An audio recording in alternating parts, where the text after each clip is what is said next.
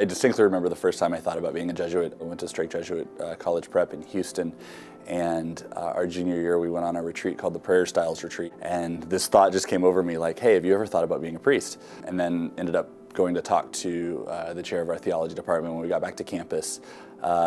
And he said, go to college.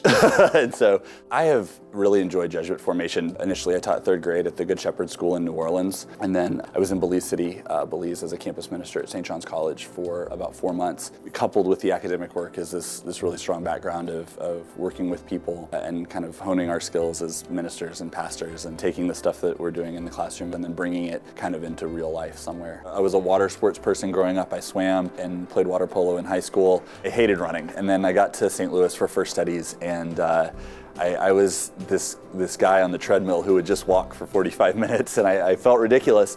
But slowly and slowly and slowly, I was able to, to run a little more and run a little more, up to the point that my last year of Regency in Houston, I actually did the half marathon.